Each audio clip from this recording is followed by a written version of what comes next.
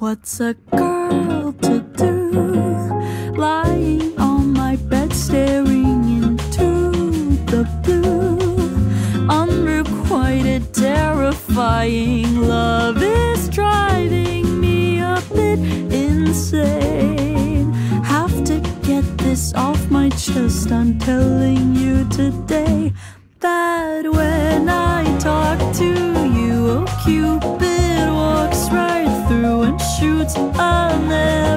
through my heart.